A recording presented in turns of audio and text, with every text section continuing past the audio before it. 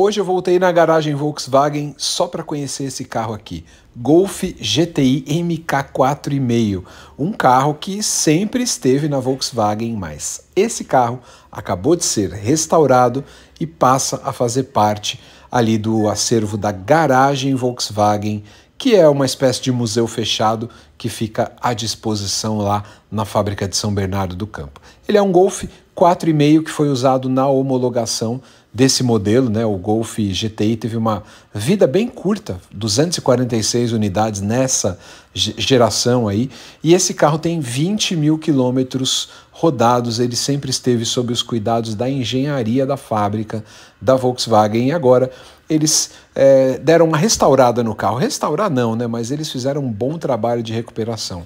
Eu não acho essa geração da mais bonita, né? Nem das mais felizes, mas de qualquer forma é mais um carro zero da garagem Volkswagen.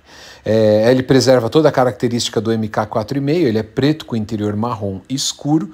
Ó, abrindo aqui você vê que é um carro que pouquíssimo foi usado, realmente foi usado pela engenharia e para testes de homologação na época. Esse carro foi feito entre 2007 e 2009. Esse exatamente é 2008, na metade da vida dele foram pouquíssimos fabricados e ele tinha várias características interessantes. Por exemplo, você tinha várias opções de revestimento interno. Esse é um couro marrom com preto bem sóbrio, né? Banco bem largo, mas essa é a opção desse carro. Ele também vinha com soleira, pedaleira, que você está vendo aí, tudo isso é original do carro. O interior com vários revestimentos de couro costurado, então é diferente. O cluster dele branco, que na época fez um sucesso enorme Todo mundo queria um painel com fundo branco como esse. Esse daí é o câmbio Tiptronic, né?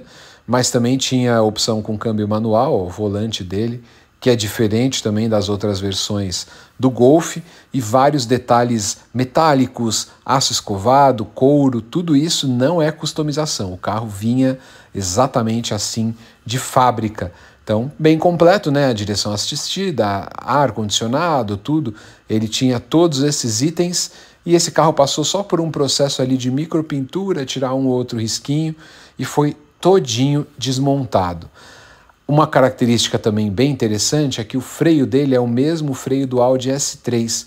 Então, um freio a disco redimensionado com pinça vermelha, pinça que aliás combinou muito com a cor dele, né, a cor preta. Essas rodas chamam biturbo, curioso, né? O nome dessa roda é biturbo. E ele tem o motor 1.8 turbo que eu vou mostrar aí para vocês na sequência, que é um motor que também foi desmontado para fazer uma tá baita de uma manutenção. Eles ligaram né, o carro, está ouvindo o ruído dele. Esse motor tem 193 cavalos, 25,5 kgfm de torque, chega a 231 km por hora.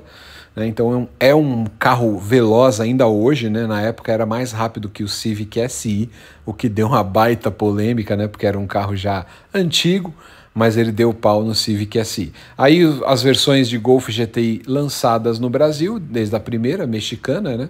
e alguns detalhes que eles passaram para a gente lá na garagem Volkswagen, lembrando que não é um acervo aberto à visitação. Detalhes aí do projeto do GTI, como eles fizeram, como projetaram, como adaptaram o carro para ser um GTI, e ali mais detalhes do Golf MK 4,5, detalhes específicos dele.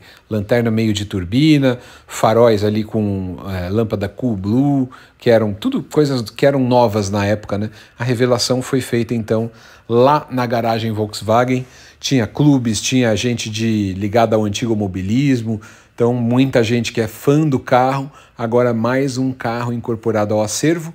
E eles falaram lá que tem mais de 20 carros que ainda devem entrar no acervo da garagem Volkswagen. Legal demais, né?